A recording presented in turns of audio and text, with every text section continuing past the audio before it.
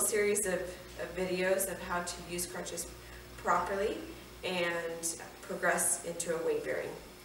So the, the first thing that you do when you are using crutches is you have to make sure they fit correctly. You want to be able to grab onto the handle, but not have it sitting in your armpit.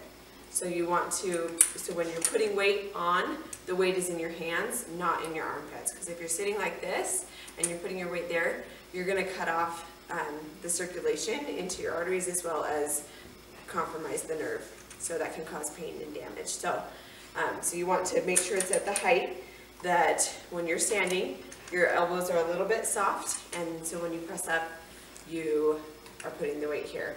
Um, the, I actually had to raise them a little bit when I got a boot on because the boot made me a little bit too tall for where I had them without a boot. So you may have to adjust them depending on what you're doing with your lower body.